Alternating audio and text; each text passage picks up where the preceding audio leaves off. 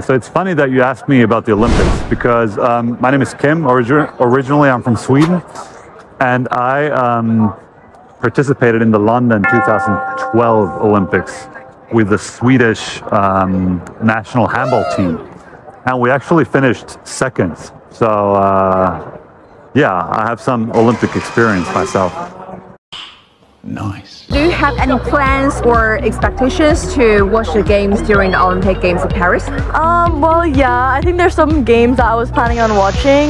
Um, like maybe just some like the popular sports and stuff. Yeah, like football. Cause I, there was there's football, right? I mean, I'm not sure, but like I'm just gonna do, watch like the popular ones that everyone's watching. Maybe. Yeah. Not many plans, but I will watch a lot of handball games, I think. Because I used to play and I know a lot of the players who are playing. So it's like watching my old uh, friends. 呃，会，因为我本身是乒乓球迷，然后我对乒乓球这个项目也很关注，或者是呃 击剑，因为呃我们有张家朗，呃他上一届冬季奥运有拿金牌，所以我也很期待他这一届的表现。 Yeah, I'll watch it on TV, I guess. But uh, usually I, I don't watch everything. Like, just if I'm free, I'll watch it.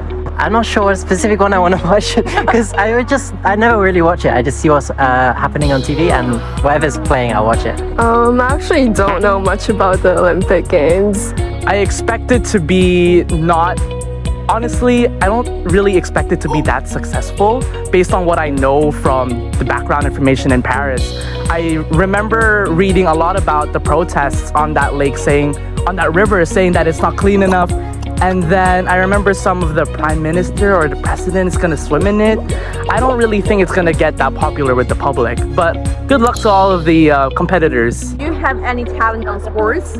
Um, I play basketball, softball, football, and like swimming as well. I've started since I was really young.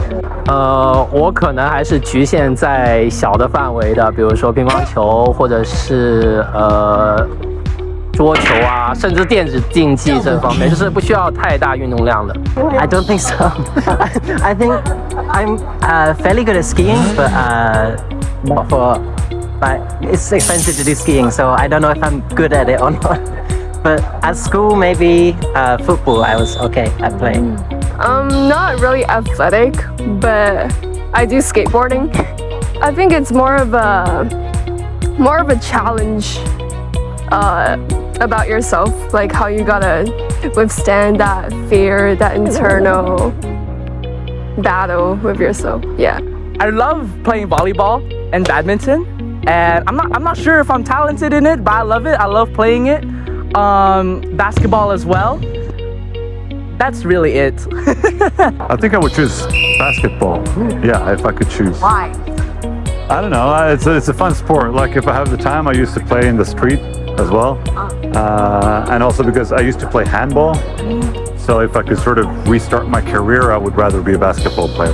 我会想加一些有对抗性的、对抗性比较强的，比如说呃击剑，或者是呃拳击类的这种，就是稍微会有一些让人呃荷尔蒙或者是兴奋一点的运动。 Uh, I would like to do uh, rock climbing.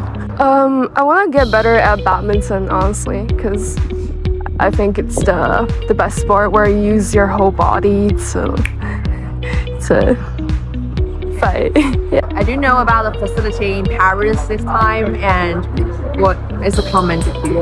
Um, I mean, I've heard it. I've, I don't really know much about it because I only saw it on TikTok. But I heard it's not great because, like, the yeah, the, I heard about like the government and stuff, and it wasn't like that good. But I have no opinions to be honest because it's not really my place to say anything. But yeah. 就是因为我没有去过嘛，然后没有实际了解过，但是从我网上看来的一些资讯哈，说这一届好像是。